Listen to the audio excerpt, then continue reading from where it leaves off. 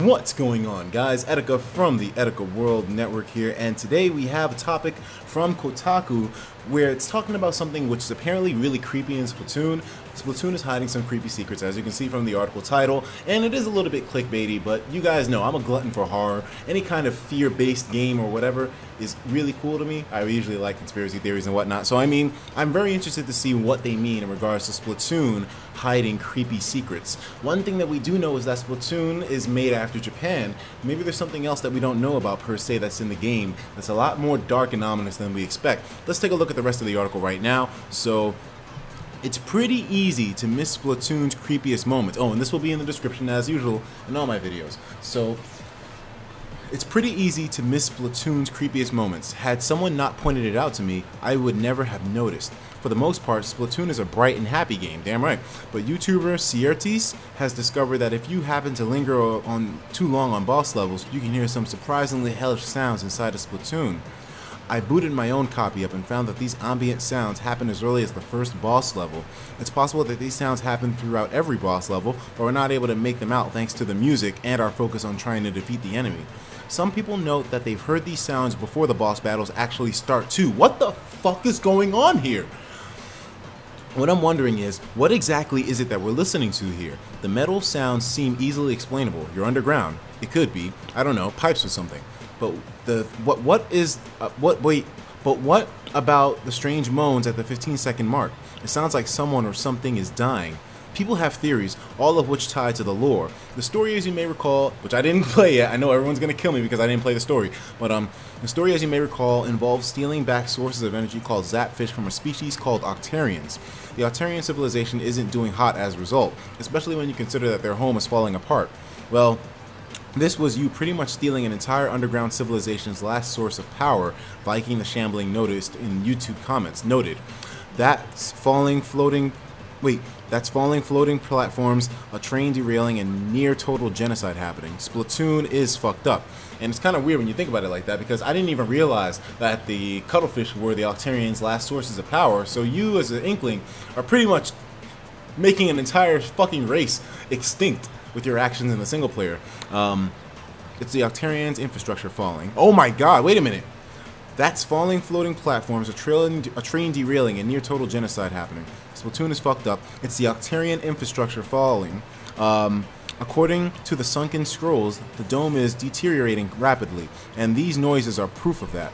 Who knows if these theories are right? I'll tell you one thing though, the sounds are damn eerie.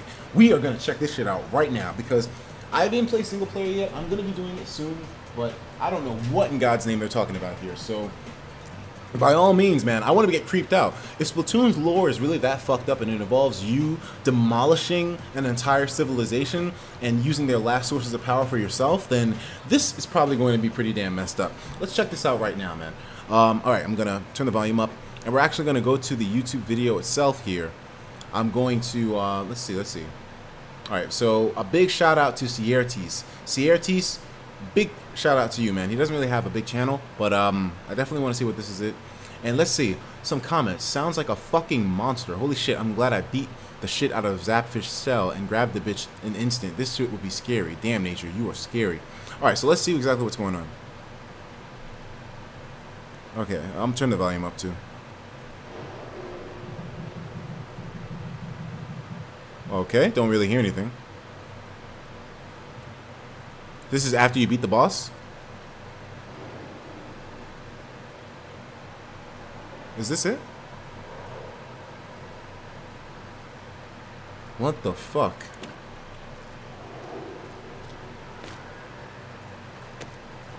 What the hell? These sounds happen in Splatoon? Are you guys hearing this?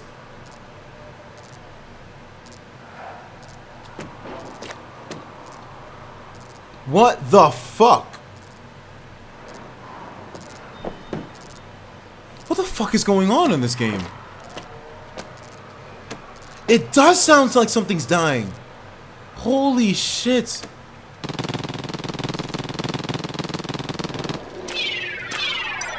Oh, whoops. Yeah, those sounds are really fucked up, dude. They're extremely fucked up.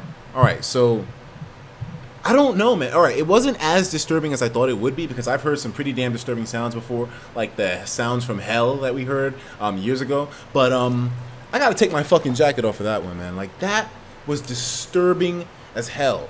Creepy sounds after the final boss. So thankfully I didn't get spoiled here. But the final boss, and these creepy sounds happen.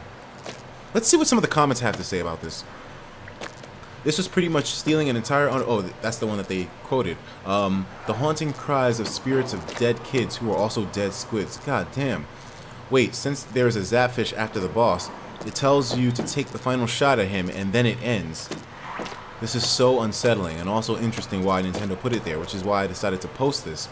God damn, man. Wait a minute, so you beat the final boss, you wait a few minutes, and then this starts to happen fucking creepy. Although it could just be the ambience, the fact that it's the final boss.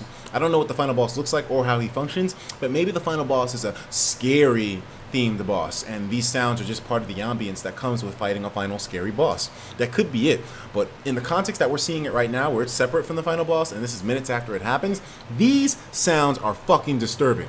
I can understand exactly what Kotaku is referencing with this. It does sound like a civil. It sounds like people are dying sounds really fucking disturbing, man. Guys, let me know what you think this is in the comments below. I want to hear theories, I want to see speculation, and I want to have an explanation on exactly what in God's name this is. Because this shit is really fucking eerie. The slow walking doesn't help, bro.